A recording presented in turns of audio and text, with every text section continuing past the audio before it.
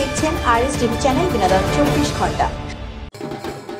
আর S TV লাইভের দর্শকবৃন্দ, আগামী তেরো তারিখ আসন্ন জগদ্ধাত্রী পুজো উপলক্ষে আর এস টিভি লাইভের পক্ষ থেকে জগদ্ধাত্রী পুজো পরিক্রমা ও বিশিষ্ট পুজো কমিটিকে পুরস্কার বিতরণ করা হবে। তাই যে সকল ক্লাব কর্তৃপক্ষ এই পুরস্কার বিতরণী অনুষ্ঠানে অংশগ্রহণ করতে চান, তারা সত্ত্বর যোগাযোগ করুন nine double zero seven nine six nine six seven two এই ফোন নাম্বারে